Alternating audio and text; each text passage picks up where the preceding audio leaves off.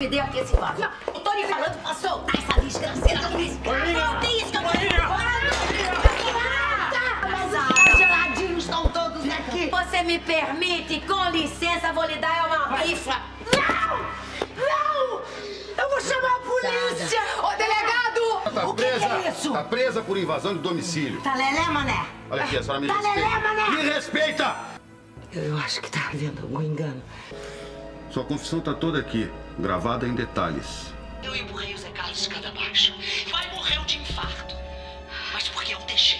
José Gilmar de Souza, um taxista idiota. Tô me metendo uma fria. E acabou no fundo de uma piscina de motel. Péssimo de cama.